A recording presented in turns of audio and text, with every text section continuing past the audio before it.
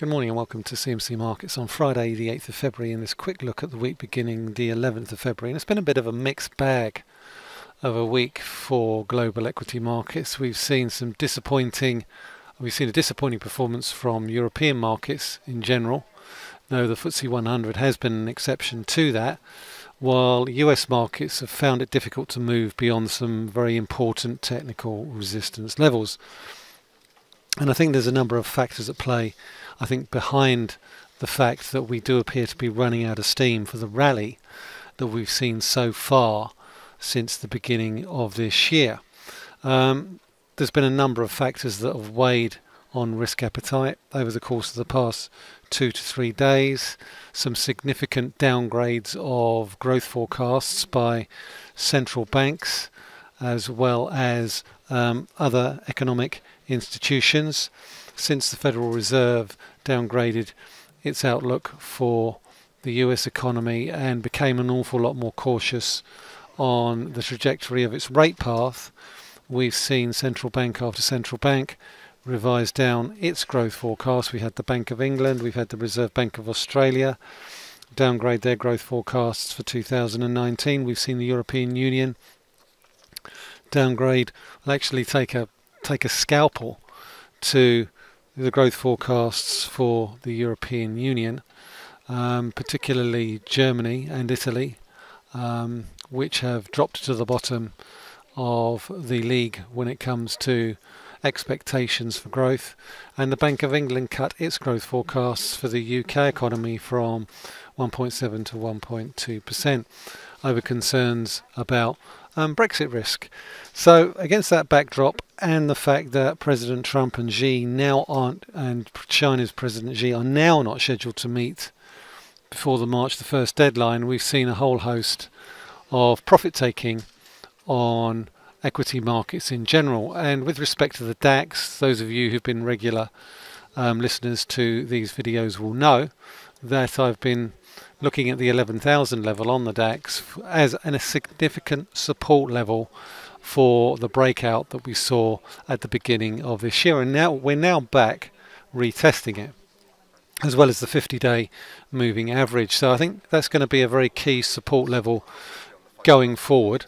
And I think it's likely to continue to do so um, over the course of the next few days. If we do fail to stay above this 11,000 level, then I think there's a decent chance we could well head back towards 10,800. We're not there yet. We're, we're currently just about holding above it, and I will be keeping a close eye on that. FTSE 100 has formed, performed slightly better over the course of the past couple of weeks, unlike European markets, which are weighed down by lower, lowered growth expectations. We've seen some decent gains over the course of the past few days. We're starting to give some of them back, but we're struggling to get through this 7,180 level, 7,200 level that I identified just over a week ago as a key resistance level for the FTSE. It's a similar story for the S&P 500. We failed to get above the 200-day moving average. And again here, a key technical resistance level on both the FTSE 100 and the S&P are likely to be key arbiters of where we go to next. At the moment, we've dropped back towards the 2680 level on the S&P 500 and that's likely to be a key support level going forward. If we break back below that on the daily chart then we could well see a little bit of a drift back down towards the 2600 level. So those are the key levels that I'm keeping an eye out for on the DAX, the FTSE 100 and the S&P. And now we're going to be looking ahead to next week, the progress of China-US trade talks, because ultimately I think while um, while while it's become apparent that Presidents Xi and Trump won't be meeting before the 1st of March deadline, which is when tariffs are due to, due to go higher, the fact that they're not meeting doesn't necessarily mean that tariffs will automatically increase by the extra 15% um, that they are expected to do on March the 1st. We could get another extension. Talks are ongoing, Treasury Secretary Stephen Mnuchin is scheduled to go to Beijing in the coming few days to talk to Chinese officials um, to try and get a much closer agreement on next steps in the China US trade talks. It's also a big week for the UK economy in the wake of the Bank of England's decision to keep rates unchanged. And ultimately, I think while um, Mark Carney, the Bank of England governor, was a little bit downbeat in terms of his growth expectations, I also think that it's worth looking at the fact that the growth, the GDP downgrade from the Bank of England whether or not you believe they're accurate or not, was still well above the levels that the German economy is expected to grow this year.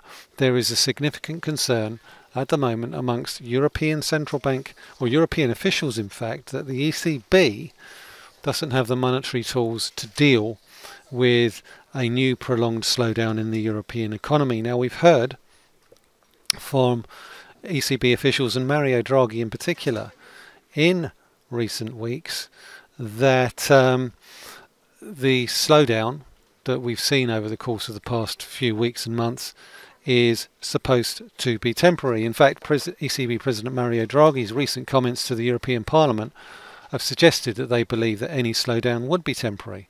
And it's been a consistent refrain from the ECB for over a year now. And yet here we are, still seeing gradual declines in economic activity, with the prospect that the three biggest European economies of Germany, France, and Italy are all in or heading towards a technical recession. And that's really weighing on euro dollar. And in, in, the process, actually helping support the US dollar. The US dollar has, has continued to gain this week quite substantially. And it's not for any reasons as to that the market thinks that the Fed is going to raise rates.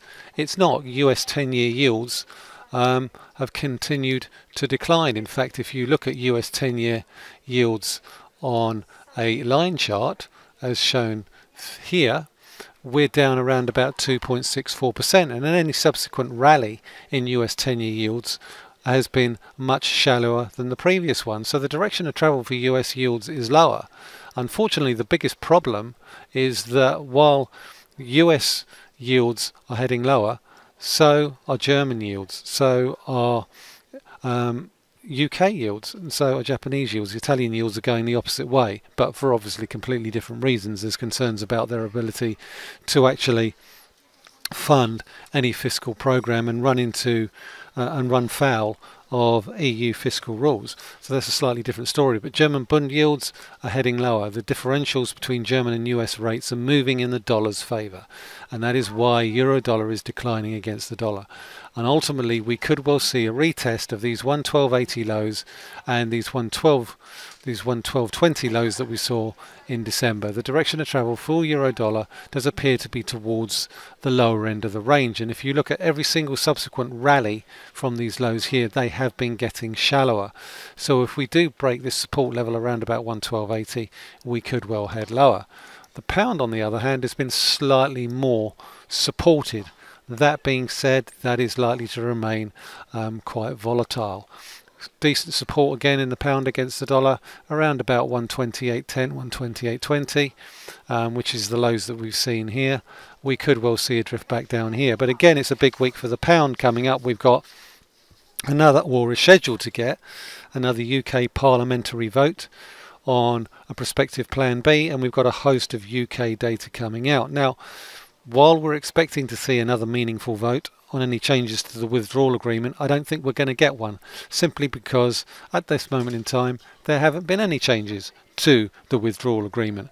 The UK still wants the Irish backstop removed, and while there hasn't been any shift in positions, there has been agreement to meet later in the month for further talks. Now, we could see further attempts by Parliament to take steps to try and prevent a no deal scenario from happening with the revival of the Cooper Amendment, which could force the Prime Minister to seek an Article 50 extension, and that is something that is continuing to look ever more likely, simply because we are running out of parliamentary time to pass the necessary legislation for even a no deal scenario. So I think both sides will want to try and get some form of Article 50 extension in place over the course of the next few weeks. We've also got UK fourth quarter GDP numbers out on the 11th of February, um, and they're likely to show a little bit of a weakness from the numbers in Q3. Um, probably something in the region of 0.2 or 0.3%. Certainly, Q1 is looking a lot weaker than the Q4 numbers, and we'll get a first indication of them. And we've also got UK inflation data out on the 13th of February. Now, in December's numbers, they came in at 2.1 uh, which was a 22 month low, and that was largely driven by a fall in airfares and a decline in fuel costs. I don't expect those numbers to significantly increase, though um, rail fares increase do come into the numbers in January. There does tend to be a little bit of a boost at the beginning of the year, but they're not expected to be significantly weaker. They might be slightly stronger. We've also got a whole host of US numbers. Retail sales for January are due out on the 15th. Um, we've also got EU flash GDP numbers on the 14th of February. Let's hopefully we don't get a St Valentine's Day massacre on the equity markets in the wake of any data that comes out on that particular day. And it's also a very big week for earnings. We've got Royal Bank of Scotland's latest full year results. We've got some uh, more results from the retail sector in the form of Dunelm Group, and we've got further important numbers out of the US. Deere & Co first quarter numbers, CME Group, and Coca-Cola. So quite a busy week lined up. The main things to keep an eye out for is for progress in US-China trade talks, um, UK and EU GDP numbers, as well as any parliamentary activity um, with respect to parliamentarians' attempts to force a no deal um, on to the UK government. So that is it for this week. Thank you very much for listening. This is Michael Hewson talking to you from CMC Markets.